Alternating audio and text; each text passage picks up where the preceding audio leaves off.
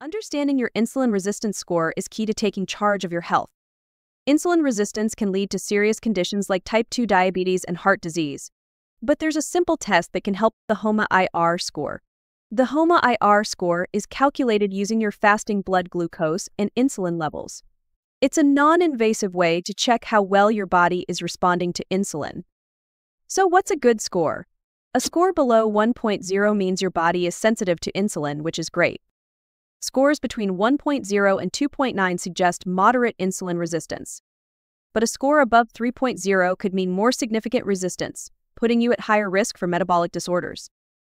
Want to improve your score? Simple lifestyle changes like eating a balanced diet, exercising regularly, and managing stress can make a big difference in lowering insulin resistance.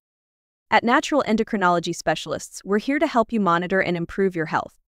Contact us today to learn more about managing your insulin resistance.